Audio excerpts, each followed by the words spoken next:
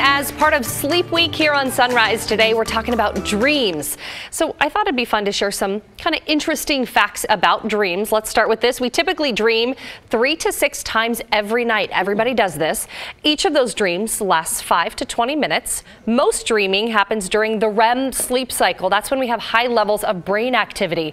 This I thought was really interesting. So you will be able to remember your dreams if you wake up in the middle of your dream when you're in REM sleep. So if you're not in REM when you wake up, that's why it's harder to remember. I always want to know like what makes us dream and experts they really don't seem to know. I mean they kind of say they're like little snapshots of things that happen throughout our day or maybe something you think about uh, right before you go to bed. So I'm kind of curious, do you guys maybe do you, I know you dream, do you remember your dreams and what do you dream about? I'll tell you that uh, I can't always remember like all the details, but I do know there are sometimes, usually on the weekends, when I'm I wake up and I'm like, "Oh, that was a good dream."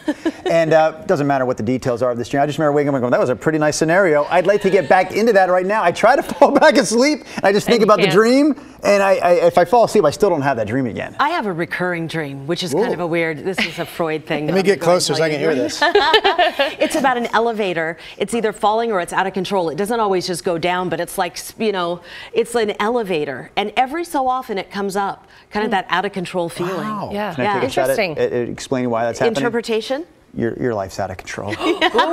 Some days it feels like it. I work with you. So if you guys have stress dreams, by the way, we're going to talk about that tomorrow as part of Sleep Week. Uh, stress dreams, nightmares, all of that stuff. We do want to share some of our viewer comments about this. A lot of you uh, wrote to us on Facebook. Laura says she dreams every night and remembers her dreams. She writes, my dreams are scenarios, stories, but nothing recurring.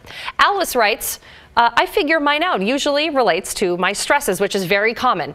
Huh. Ryan writes, I rarely remember my dreams, but I do recall punching a shark in the face. oh, yeah. Not long ago. Rod, you can relate to that yeah. one, right? Yeah, oh, yeah. no, I, I, had, you know, stress of, of the alarm not going off is a big deal when mm -hmm. you get mm-hmm. up at, you know, 2, 2.30 in the morning. I had this dream just a week or so ago, and I dreamed that I had already woken up and turned the alarm off.